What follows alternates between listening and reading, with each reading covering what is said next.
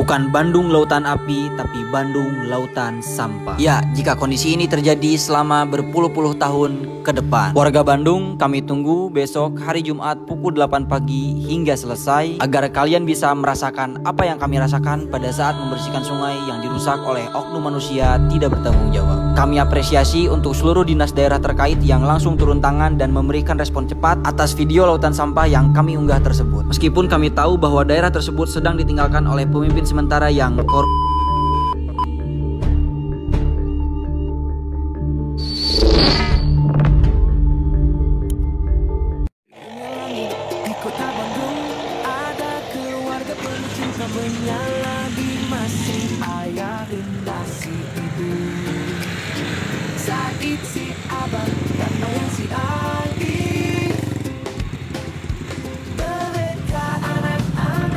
Setelah ajakan dari Pandawara Group kemarin membersihkan sampah di sekitar jembatan BBS Batu Jajar.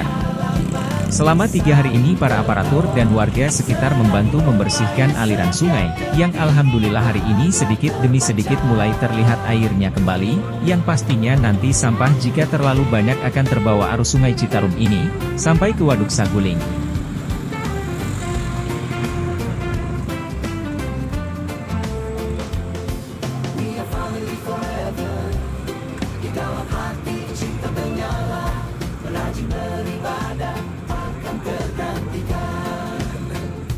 Bersatu dalam doa bersama dalam cinta membangun keluarga warahmah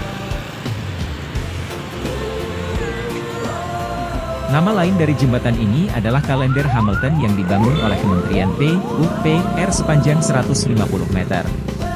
Terima kasih tim Pandawara Group, aparatur setempat dan para relawan.